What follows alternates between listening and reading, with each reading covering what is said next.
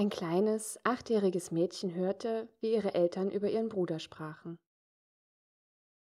Alles, was sie verstand, war, dass er krank war und dass die Familie kein Geld hatte. Sie mussten sogar umziehen, denn sie konnten sich ihre Wohnung wegen all der teuren Arztrechnungen nicht mehr leisten. Nur eine sehr kostspielige Operation könnte ihren Bruder Andrew retten. Aber die Familie kannte niemanden, der ihnen das Geld hätte leihen können.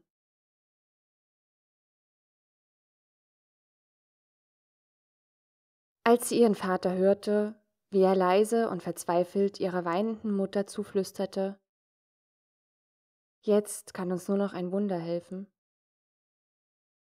lief die Kleine in ihr Zimmer und zog aus einem Geheimversteck in ihrem Kleiderschrank ein Glas, in dem sie ihr Taschengeld sparte. Sie kippte es aus, setzte sich auf den Boden und zählte alles ganz genau. Dann gab sie die Pfennige zurück ins Glas, drückte es fest an sich, stahl sich aus der Hintertür und lief den weiten Weg zur Apotheke.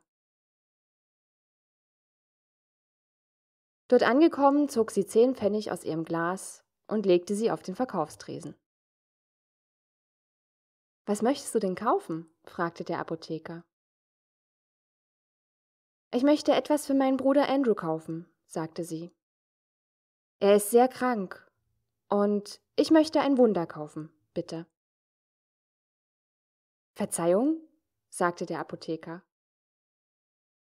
Sein Name ist Andrew, und er hat etwas Böses, was in seinem Kopf wächst, und mein Papi sagt, dass nur ein Wunder ihn retten kann. Also, wie viel kostet ein Wunder?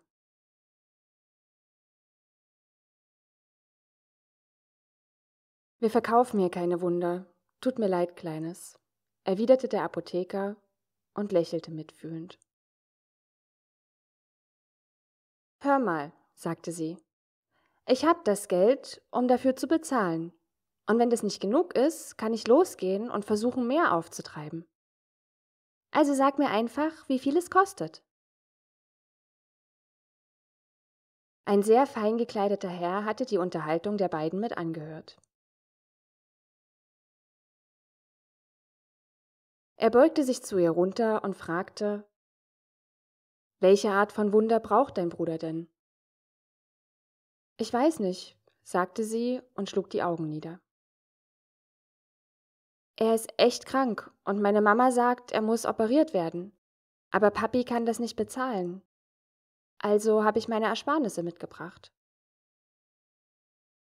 Wie viel hast du? fragte der Mann. Eine Mark und elf Pfennig, aber ich kann mehr besorgen, antwortete sie kaum hörbar. Was für ein Zufall, sagte der gut gekleidete Herr. Eine Mark und elf Pfennige ist genau der Preis, den ein Wunder kostet, welches kleine Brüder rettet. Er nahm ihr Geld in die eine und die Kleine an die andere Hand und sagte, Zeig mir, wo ihr wohnt. Ich möchte deinen Bruder und deine Eltern kennenlernen. Lass uns gucken, ob ich die Art von Wunder habe, die ihr braucht. Dieser gut gekleidete Herr war Dr. Carlton Armstrong ein Chirurg spezialisiert in Neurochirurgie. Die Operation verlief problemlos und es dauerte nicht lange, bis Andrew genesen und wieder zu Hause bei seiner Familie war.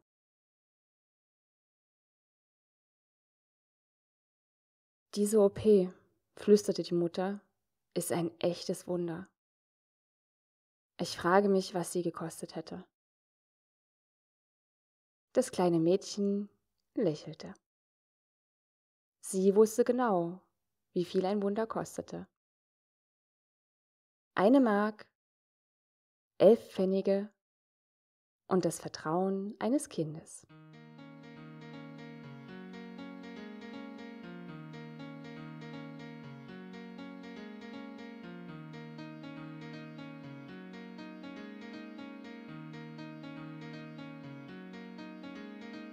Hey und willkommen zurück zu meinem Podcast Burnout von der Leichtigkeit des Seins. Ich muss gestehen, ich bin überhaupt nicht fit heute. Ich habe mich bei einem persönlichen Coaching angesteckt uh, mit Frühjahrserkältung. Die habe ich jetzt ein bisschen mit mir rumgeschleppt die letzten Tage. War alles halb so wild, aber müde bin ich. Ja. Super, super müde. Und ich hoffe, dass ich diese Folge trotzdem einigermaßen verständlich für dich hinbekomme und dass du trotzdem so viel wie möglich daraus mitnehmen kannst. Warum eigentlich Ayurveda? Ganz einfach. Mit dem Ayurveda kann man nicht nur heilen, sondern das Ayurveda lässt sich vor allem sehr gut dazu benutzen, den Körper nachhaltig zu stärken, wenn du gesund bist, deine Leistungsfähigkeit zu steigern und Krankheiten und Energieverlusten vorzubeugen. Vor allem aber macht es eine Sache sehr, sehr viel leichter. Das Gleichgewicht in Körper oder Geist wiederherzustellen. Denn da das Ayurveda alles als verbunden ansieht, also Körper und Geist, ist es möglich, mit ayurvedischen Methoden den Geist über den Körper zu heilen oder andersrum den Körper über den Geist zu heilen. Und das ist ein Riesenvorteil. Denn so gibt es nicht nur den einen sturen geraden Weg, den du gehen musst, sondern in der Regel für jedes Problem sehr, sehr viele unterschiedliche Lösungsansätze, aus denen du dir dann den besten aussuchen kannst.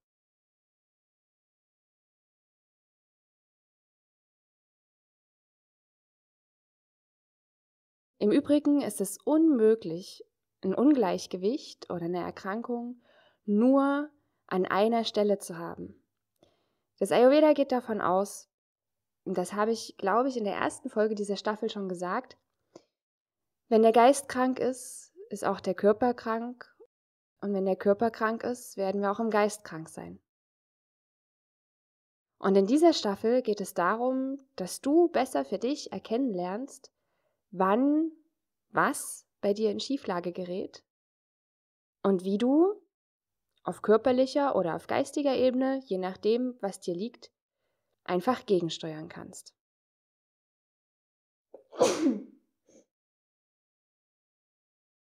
Die letzte Folge war ziemlich vollgepackt mit Informationen. Und wahrscheinlich hast du nicht nur dich analysiert, sondern auch dein Umfeld. Und weißt jetzt ein bisschen besser, womit du es in dir selbst und auch mit anderen zu tun hast. Heute will ich mich noch einer anderen Komponente des Ayurveda widmen, die quasi auch zu den Basics gehört und die total wichtig ist, weil es diese eine Sache ist, die am Ende im Körper und natürlich auch im Geist dafür sorgt, dass Nährboden für Krankheiten, Ungleichgewichte entsteht. Und zwar Ama.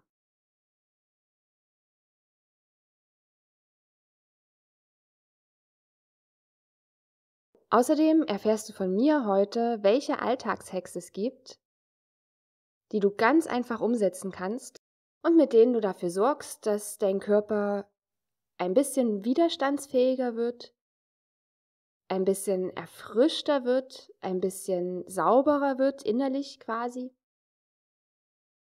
Und wie er widerstandsfähiger wird gegen Stress und gegen Erkrankungen, beziehungsweise wie du deine Kräfte und deine Energie dauerhaft steigern kannst.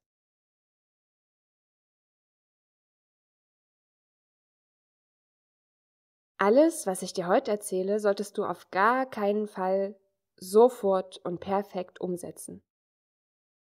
Wenn ich Burnout in vier Worten beschreiben müssten, müsste, wäre es genau das.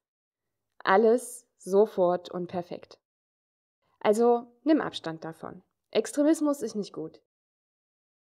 Denn wenn wir irgendwas zu extrem machen, egal was es ist, wird irgendwas anderes immer auf der Strecke bleiben im Alltag. Und wenn du hier die Dinge zu schnell und zu viel angehst, wird wahrscheinlich einiges durcheinander kommen und die Motivation ziemlich schnell verloren gehen, die Sachen dann auch durchzuziehen.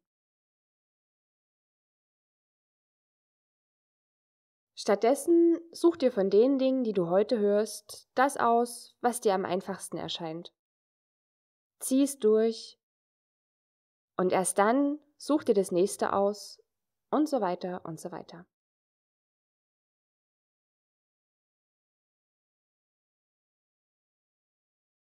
Alles, was ich dir heute rausgesucht habe für den optimalen ayurvedischen Tagesablauf, sind Dinge, von denen ich beobachten konnte, dass sie gestressten und ausgebrannten Menschen am allerbesten geholfen haben.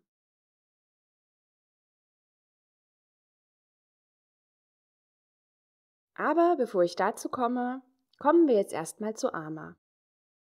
Ama, Ama, Ama. Wer ist denn diese Ama? Ganz einfach. Ama ist das Wort, was man im Ayurveda für, für Abfall benutzen würde vielleicht. Ama ist etwas, was sich bildet im Körper, wenn die drei Elemente nicht im Gleichgewicht sind. Und wenn deswegen zum Beispiel die Verdauung oder die Durchblutung oder der Austausch von Gewebsflüssigkeiten oder so. Also dein Körper, es fließt ja alles in deinem Körper. Und alles ist im ständigen Austausch, die Zellen erneuern sich ständig. Ähm, dein Körper nimmt den ganzen Tag über Dinge auf, indem er einatmet oder indem du isst. Und naja, er gibt ja auch Sachen ab. Du atmest aus, du schwitzt, du ähm, musst aufs Klo und so weiter und so fort. Und diese Prozesse laufen eigentlich so optimal, dass dein Körper alles, was er braucht, behält und an die Stellen schickt, wo er es braucht. Und dass er alles, was er nicht mehr braucht, auch wieder nach außen abgibt. Wenn die Energien alle im Gleichgewicht sind. Das gleiche geht natürlich auch für deine Psyche. Also alles, was gut für dich ist, behältst du im besten Fall alles, was nicht gut für dich ist, erkennst du im besten Fall und grenzt dich davon ab und lässt es los. Du siehst also, das Prinzip bei Körper und Geist ist eigentlich das gleiche. Ama funktioniert so ähnlich wie der Müll in deinem Auto. Also, falls du einer von denen bist, die ab und zu vergessen, ein bisschen im Auto aufzuräumen. Du bist mit deinem Auto viel unterwegs, du ähm, hältst vielleicht irgendwo bei einem Drive-In ab und zu und isst in deinem Auto ein paar Burger oder hast Coffee to go dabei oder wie auch immer. Und normalerweise, wenn du willst, dass dein Auto sauber bleibt, dann wirst du immer, wenn du aussteigst, deine leeren Kaffeebecher oder deine leeren Verpackungen oder was auch immer mitnehmen. Du wirst vielleicht ab und zu Staubsaugen in deinem Auto und naja, viele Leute putzen ihr Auto ja auch ab und zu.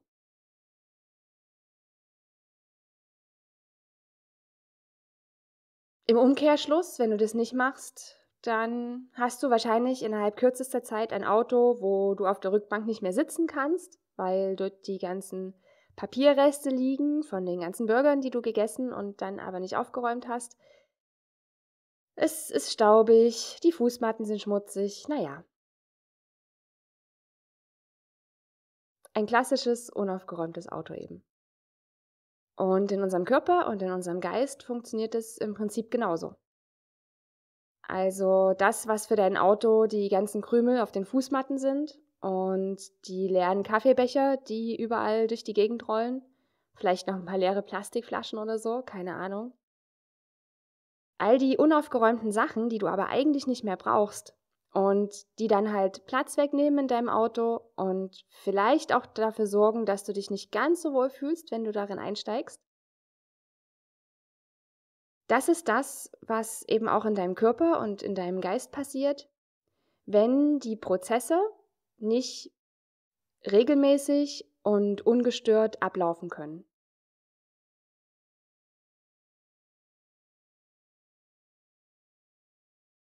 eine gute Methode, um zu erkennen, ob in deinem Körper die Prozesse alle im Gleichgewicht laufen und ob du Arme hast oder nicht, ist, deine Zunge mal kurz anzugucken.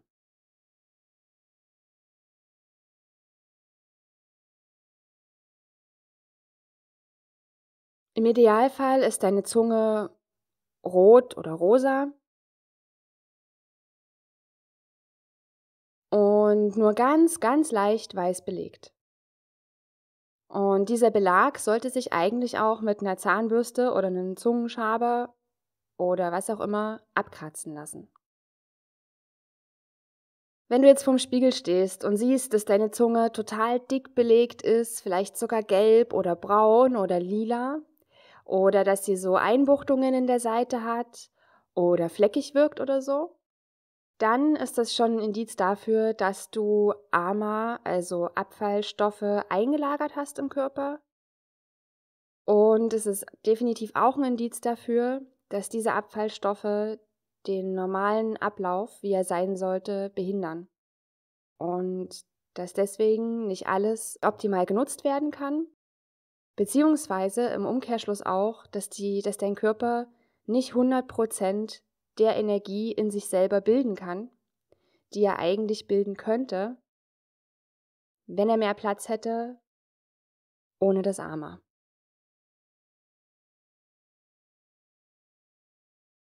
Das Problem mit Ama ist folgendes. Wir leben ja eine ganze Weile.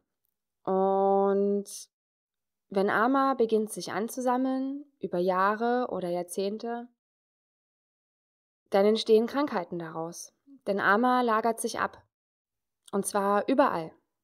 Je nachdem, wo genau die Energie nicht so ausgeglichen ist, je nachdem, wo es ein bisschen hängt sozusagen in den Körperprozessen, Dort sammelt sich natürlich auch das meiste Ama, denn dort ist die Kraft des Körpers am geringsten, diese Abfallstoffe vernünftig wieder mit nach außen zu transportieren. Ama kann sich also ablagern im Darm genauso wie in deinen Nasenschleimhäuten, deinen Blutgefäßen, deinen Lymphgefäßen und so weiter und so fort. Und weil ich dich so früh in dieser Staffel noch nicht mit Informationen fluten will, lasse ich das jetzt erstmal so stehen.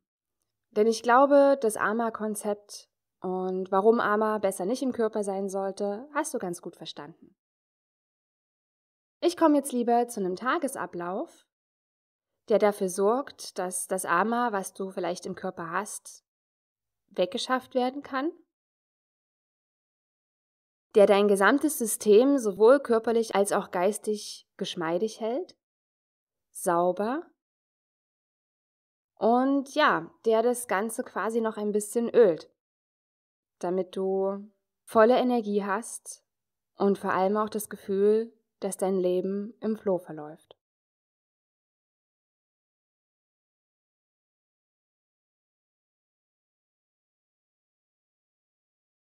Also los geht's.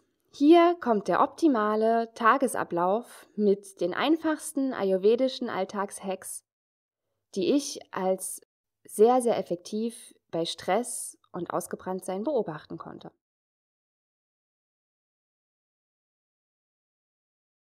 Als allererstes solltest du aufstehen, wenn du wach bist. Im Idealfall ist es spätestens um 6 Uhr. Hier ist schon der erste Punkt, an dem ich nochmal aufrufen will dazu, nicht zu extremistisch unterwegs zu sein. Ich persönlich zum Beispiel bin absolut kein Frühaufsteher. Und ja, also dass ich freiwillig um 6 Uhr aufstehe, ist sehr, sehr, sehr selten.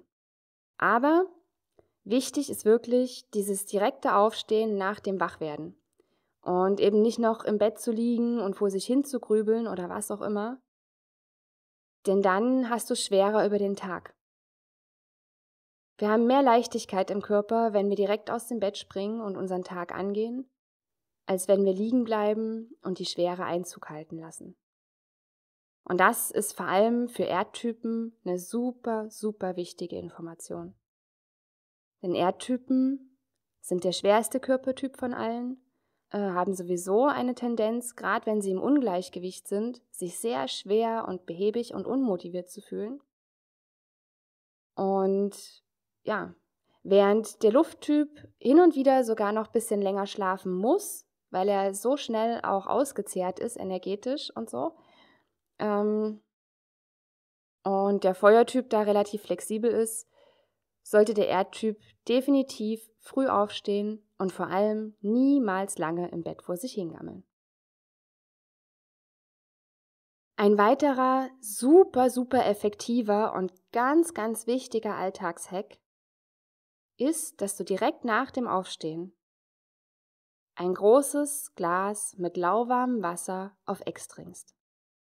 Ich weiß, ich weiß, ich weiß, es hört sich super eklig an. Es ist auch zugegebenermaßen ein bisschen gewöhnungsbedürftig. Das war es für mich am Anfang auch. Aber es war auch eine der Sachen, die bei mir persönlich am schnellsten einen Effekt gezeigt haben. Und das ist auch was, was ich nicht nur von mir aus meinen frühen Ayurveda-Zeiten kenne, sondern auch etwas, was ich im Laufe der Jahre bei vielen von Burnout-Betroffenen sehr, sehr gut beobachten konnte.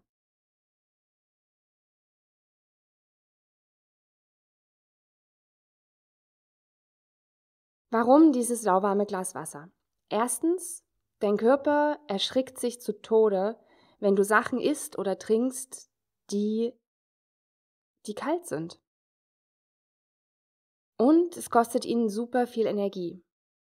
Denn dein Körper wird immer versuchen, das, was du isst und trinkst, auf eine Temperatur zu bringen, die ungefähr bei seiner eigenen Temperatur liegt, weil er die nun mal am besten verträgt. Und wenn du irgendwas trinkst oder isst, was super, super kalt ist, dann braucht dein Körper einfach eine Menge Energie, um das, was du eben getrunken oder gegessen hast, auf seine eigene Temperatur zu bringen. Mit diesem lauwarmen Wasserglas am Morgen machst du es ihm also sehr einfach, denn du gibst ihm etwas in der Temperatur, die ihm gut bekommt, und deswegen kann er das auch gleich benutzen. Und er wird es benutzen, denn deine Organe sind leer, du hast ja nachts nichts gegessen, das heißt dein Magen und dein Darm sind frei.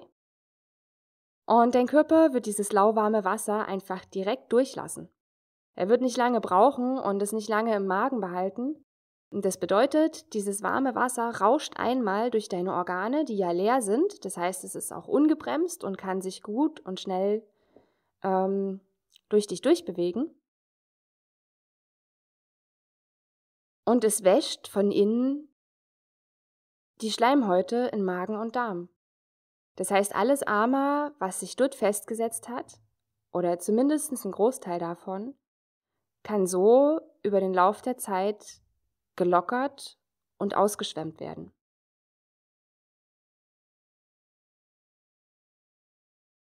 Ja, das ist am Ende auch der Effekt, den wir haben wollen.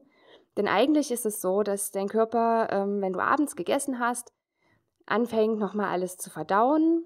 Und dadurch, dass er nachts Zeit hat, weil du nachts ja schläfst und nichts isst, versucht er über Nacht sich zu reinigen. Und er wird auch immer versuchen, alles über Nacht mit rauszubringen, was er nicht mehr haben will. Normalerweise ist es ein Indiz dafür, dass bei uns alles okay ist, wenn wir morgens relativ zügig, nachdem wir aufgestanden sind, erstmal groß machen müssen. Weil das uns zeigt, dass der Körper seine Prozesse ganz normal um die Runden bringt. Und normalerweise ist das auch das erste Anzeichen dafür, dass die Elemente eben nicht im Gleichgewicht sind, wenn das mit der Ausscheidung nicht mehr so richtig hinhaut. Und es ist schon so, dass du eigentlich mindestens einmal am Tag groß auf Toilette gehen solltest. Äh, normal und gesund wären eigentlich sogar zweimal. Also direkt aufstehen, ein Glas lauwarmes Wasser auf Ex trinken, damit die Toxine aus den Organen rausgespült werden und du direkt danach aufs Klo gehen kannst. Nachdem du auf der Toilette warst, gehst du zurück in deine Küche. Denn für den dritten Schritt brauchst du Öl. Das Öl, was du benutzt, obliegt dir. Du kannst dir das aussuchen. Ich persönlich würde Rapsöl oder Sonnenblumenöl für den Anfang empfehlen, weil es nicht ganz so geschmacksintensiv ist. Denn es geht um Folgendes. Du hast dir ja gerade schon deine Zunge angeguckt und festgestellt, ob du Ama am Körper hast und vielleicht sogar ein bisschen Bauchgefühl dafür bekommen, wie viel Ama du im Körper hast. Die Zunge eignet sich deswegen so gut, weil unser Körper über Nacht die ganzen Bakterien und alles, was eigentlich nicht da sein sollte, mit nach oben in die Mundhöhle transportiert. Die setzen sich dann da ab. In der Zunge und auf dem Zahnfleisch und in den Zwischenräumen und so weiter. Und was wir im Ayurveda machen, ist also so ein kleines Schnapsgläschen voll Öl in den Mund zu nehmen und dieses Öl dann für mindestens 10 Minuten, besser noch 15, im Mund hin und her zu bewegen. Wie wenn du nach dem Zähneputzen mit Wasser deinen Mund ausspüren willst.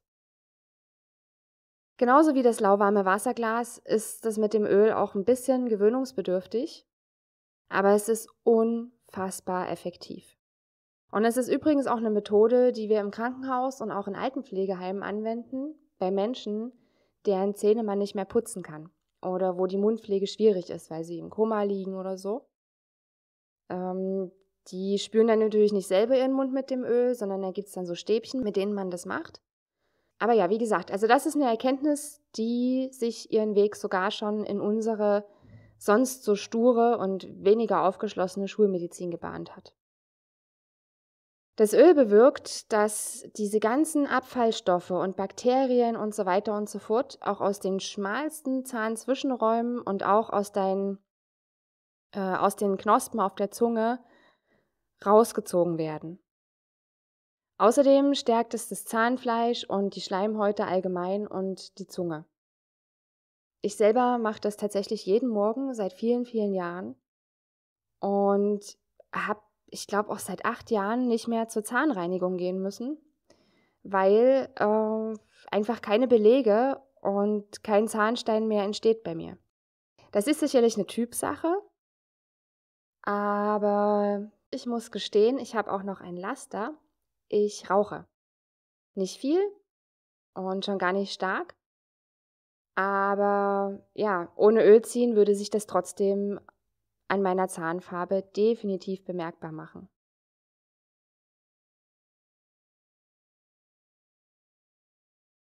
Okay, also, du hast das Ölziehen gemacht. Du spuckst das Öl am besten ähm, in den Mülleimer und danach geht's Zähneputzen.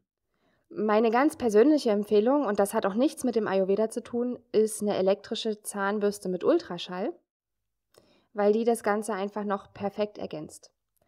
Und du wirst auch direkt, nachdem du das das erste Mal probiert hast, merken, dass deine Zähne nach dem Zähneputzen super, super glatt und sauber sind. Ja, allgemein, dass dein, dass dein Mund sich sehr, sehr sauber anfühlt. Wichtig ist hier natürlich, wenn du schon Ölziehen machst, um die ganzen Keime und Bakterien, die sich über Nacht im Mund abgelagert haben, rauszuholen dann ist es sinnvoll, wenn du auch deine Zunge mitputzt. Das ist eigentlich super, super wichtig. Und viele Leute machen das nicht, weil sie es für unnötig halten. Aber deine Zunge ist weich und sie hat Poren. Und dieser angelöste Belag und die Keime und so weiter, die sitzen da relativ tief drin. Und das heißt, wenn du die schon angelöst hast mit dem Öl, dann sollte es eigentlich ein leichtes sein, den Rest mit der Zahnbürste oder vielleicht sogar einem Zungenschaber zu entfernen.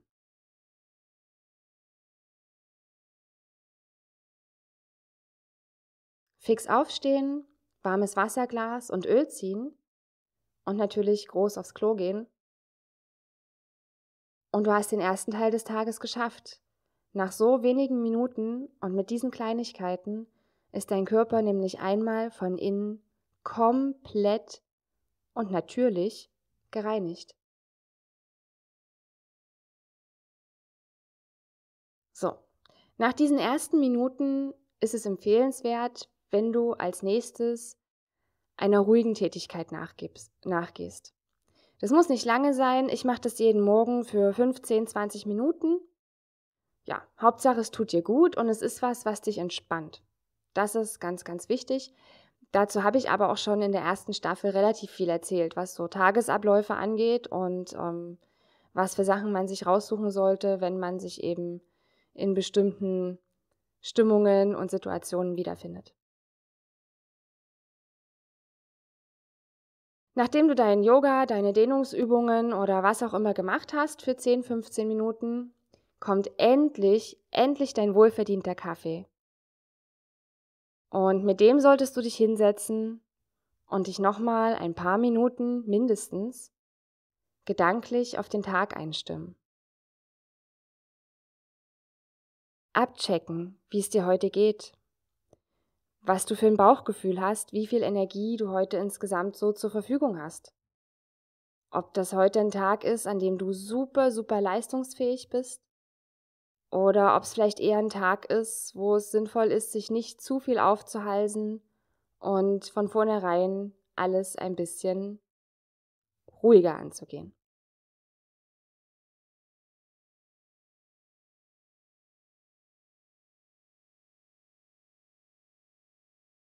Jetzt kann dein Tag starten. Dein Körper ist wach, dein Geist ist ruhig, deine Konzentration so gut wie möglich. Und ja, vielleicht musst du erstmal auf Arbeit fahren, vielleicht fährst du später erst auf Arbeit, das weiß ich nicht. Aber der nächste Punkt auf meiner Liste ist dein Frühstück. Eine ideale Frühstückszeit ist zwischen 8 und 9 Uhr. Hier gibt es natürlich Ausnahmen. Zum Beispiel, wenn du um 4 Uhr anfängst zu arbeiten. Dann kannst du nicht vier Stunden mit leerem Magen dasitzen. Das wäre auf jeden Fall auch nicht ayurvedisch wertvoll. Dann musst du halt um sieben essen. Dann ist das so. Aber ideal für alle drei Körpertypen wäre zwischen 8 und 9. Hier komme ich schon wieder zurück auf das Ama. Denn wie viel Ama in deinem Körper entsteht und auch wie schnell oder wie gut das wieder abtransportiert werden kann, hängt im Wesentlichen von deinem Essverhalten ab. Deine Verdauung, die das Ama auch mit verbrennt und mit abtransportiert, wenn alles gut läuft, die kommt nämlich erst ab, ab 8, 9 Uhr in Gang. Deswegen sollte das Frühstück auch nicht zu schwer sein, sondern eher ein vollwertiger, leichter Snack. Und nach dem Frühstück sollten mindestens zwei Stunden Pause sein bis zur nächsten Mahlzeit. Denn hier macht der Körper das, was er nachts ganz intensiv macht, auch nochmal im Kleinformat. Das heißt, er verdaut dein Frühstück und kurz bevor die nächste Mahlzeit kommt, wenn das Frühstück verdaut ist und die neue Mahlzeit noch nicht gegessen wurde, dann hat dein Körper Zeit, weil die Organe jetzt wieder leer sind, sich um das Ama zu kümmern. Und wenn du die ganze Zeit immer wieder zwischendurch isst, dann ist er eigentlich nur mit Verdauen beschäftigt. Er wird das, was du isst, niemals so gut verdauen, wie wenn du regelmäßige Essenszeiten hast. Und vor allem wird er keine Zeit finden, sich dann auch noch dem Ama zu widmen.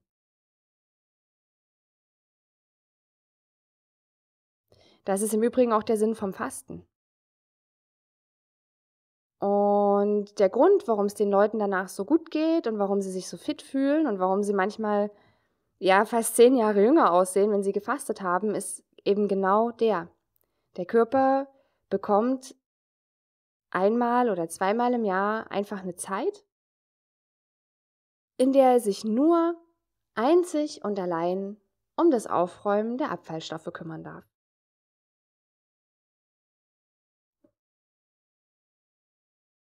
Nächster Tipp.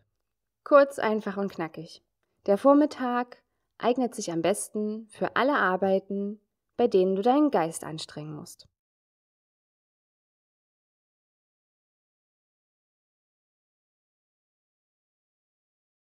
Und jetzt sind wir schon wieder beim Essen angekommen, denn nachdem du den Vormittag mit Tätigkeiten im Geist verbracht hast, eventuell, kommt das Mittagessen.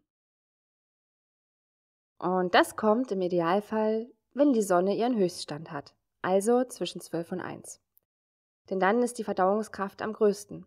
Und im Ayurveda ist es empfohlen, dass wir mittags, wenn unsere Verdauungskraft am größten ist, auch die größte Mahlzeit zu uns nehmen, die dann auch die schwerste Mahlzeit des Tages sein sollte.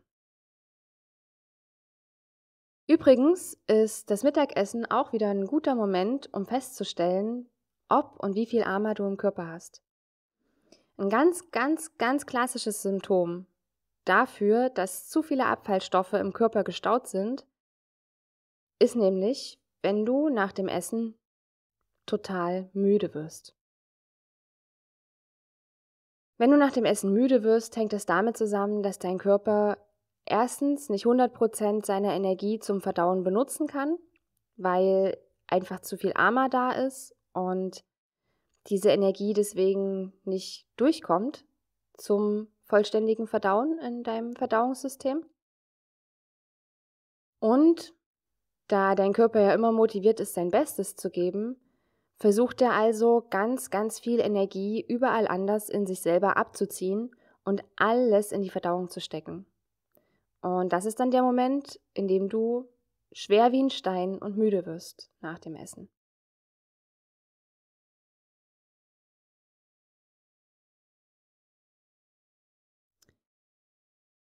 Okay, nach der Mittagspause kommt natürlich die zweite Hälfte des Arbeitstages. Wenn du kannst, ist es günstig, nachmittags der körperlichen Arbeit nachzugehen.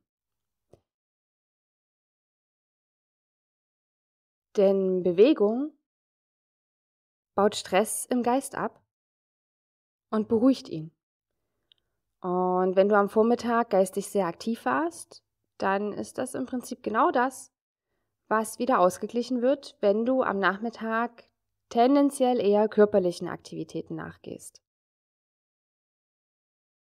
Außerdem hast du ja jetzt schon ein ganzes gutes Stück deines Tages hinter dich gebracht und hast vielleicht auch gar nicht mehr so viel Energie und vielleicht auch nicht mehr so einen frischen Geist, um jetzt noch schwierige Denkaufgaben zu lösen.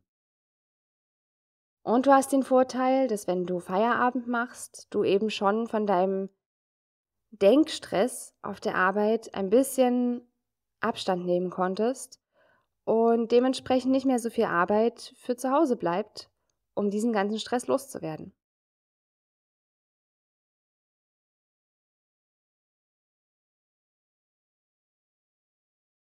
Idealerweise nimmst du dein Abendessen um 18 Uhr ein.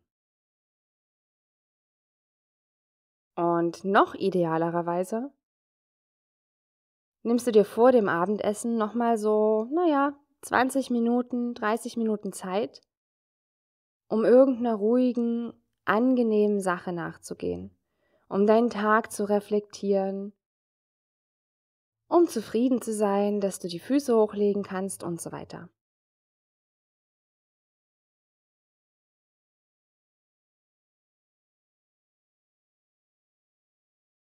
Also Abendessen im besten Fall um 18 Uhr. Unbedingt jedoch maximal bis zwei Stunden vor dem Schlafengehen. Dein Körper will sich nachts erholen und er will das Armer abbauen, das habe ich ja jetzt schon erzählt. Und das bedeutet, wenn du abends noch isst, beziehungsweise wenn du ähm, richtig viel isst, dann ist dein Körper nachts so sehr mit Verdauen beschäftigt, weil die Verdauungskraft nachts eigentlich für Essen überhaupt nicht da ist und auch nicht vorgesehen ist. Und das heißt, der braucht für alles, was du nach 18 Uhr isst, ungleich viel mehr Energie, das zu verdauen, als wenn du das zum Beispiel am Mittag gegessen hättest. Und diese Energie wiederum fehlt dir dann, um nachts diese Abfallstoffe abzubauen.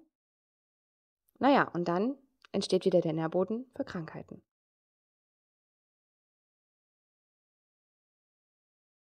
Und dann ist der Tag eigentlich schon wieder fast rum. Alles, was jetzt noch bleibt, ist das Einschlafen.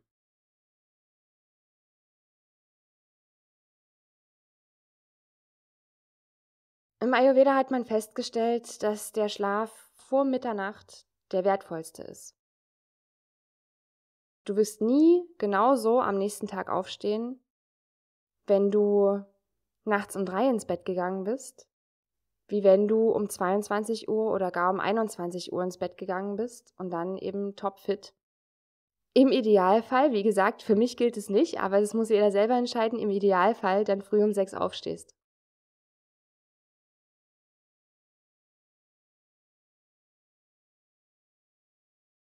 Und obwohl wir jetzt schon durch sind mit dem Tagesablauf, habe ich trotzdem noch einen super wichtigen Punkt auf meiner Agenda. Unterdrücke niemals, nie, nie, niemals deine Bedürfnisse. Warum? Liegt auf der Hand. Deine Bedürfnisse, und damit meine ich die ähm, Bedürfnisse, die jeder von uns hat, nämlich groß machen oder klein machen oder rülpsen zum Beispiel oder furzen, das sind alles Sachen, die dein Körper nicht mehr haben will und die einfach raus müssen. Und zwar in dem Moment, in dem du merkst, dass du mal schnell pullern musst, dass du mal groß machen musst, dass du aufstoßen musst und so weiter. Deine Bedürfnisse zu unterdrücken ist im Prinzip wie dein Armer im Körper festzuhalten. Und das Gleiche gilt übrigens auch für Gefühle. Die Beschreibung des Tagesablaufs war ja jetzt eher sehr körperbezogen. Aber wie gesagt, im Ayurveda sind Körper und Geist nicht getrennt. Und abgesehen davon ist es natürlich auch auf seelischer Ebene immer möglich, äh, Bedürfnisse zu unterdrücken, nicht auszusprechen und sich damit zu schaden. Das ist was, was du in der zweiten Staffel in Macht und Machtspielchen und Gefühlsduselei schon gehört hast von mir. Und ja, last but not least, wenn du Wasser trinkst, auch tagsüber, und das kann ich wirklich nur sehr, sehr, sehr empfehlen, dann unbedingt ohne Kohlensäure. Ich weiß, das ist jetzt schon wieder mega uncool, weil du musst ja jetzt schon früh das warme Wasser trinken. Wie eklig ist das denn? Und jetzt auch noch Wasser und ohne Kohlensäure den ganzen Tag. Aber je mehr Wasser du deinem Körper gibst, umso mehr Möglichkeit gibst du ihm, Energie aufzubauen, Energien zu halten, sich zu stabilisieren und die Ecken in deinem Körper zu putzen, von denen er sieht, dass dort zu viel Ama rumliegt. Und mit diesem Wasser, was du trinkst, über den Tag verteilt und ohne Kohlensäure, kann er das dann auch alles ziemlich leicht nach draußen transportieren, was sonst vielleicht einfach liegen bleibt.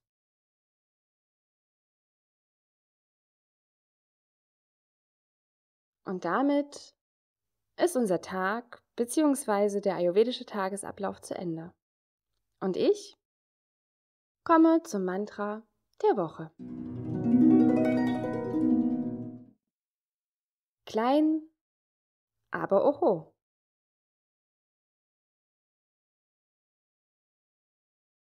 Übrigens, wenn du sicher sein kannst, dass dein Körper sich an die Umstellung gewöhnt hat, dann fühl noch mal rein.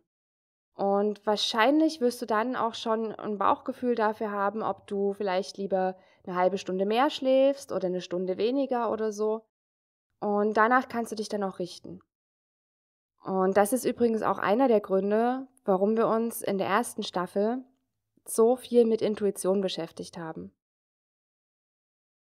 Das Ayurveda ist super und es wird dir wirklich, wirklich weiterhelfen um dich selbst zu heilen, zu stabilisieren und das Maximum an Energie aus dir rauszuholen. Aber ja, da ich ja nicht bei dir sein kann,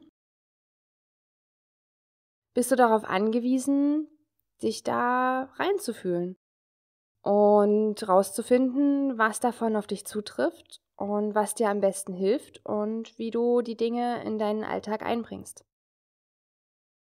Und das ist ja eigentlich auch in Ordnung so, weil kein Arzt und kein Therapeut dieser Welt ähm, tiefer in dir drin steckt als du selbst und dich auch nicht so gut kennt, wie du dich selber kennst. Ist es also super, super wichtig, dass du dieses Bauchgefühl für dich entwickelt hast und auch weiterentwickelst, weil im Ayurveda eben immer auch viel über Ausprobieren läuft. Gerade wenn du mehrere Elemente in deinem Körpertyp enthalten hast.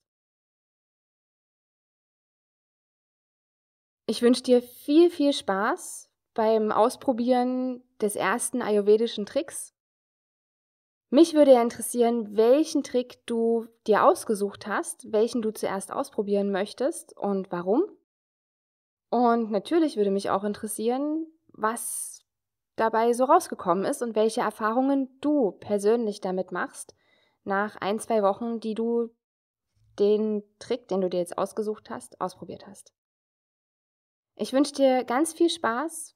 Wie gesagt, denk daran, nichts überstürzen, nicht alles auf einmal. Such dir das Chilligste für dich raus, fang damit an, probier es und wenn das gut läuft und Teil deines Alltags geworden ist, dann such dir einfach die nächste Sache aus.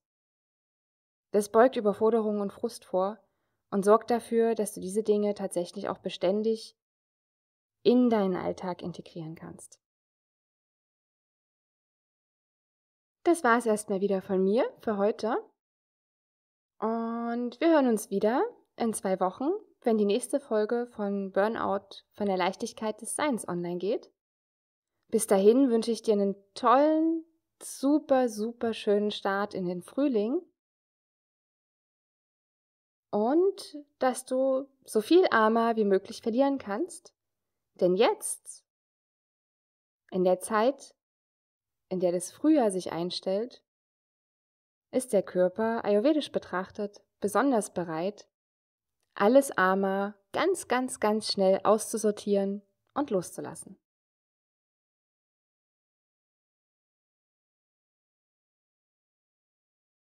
Bis zum nächsten Mal.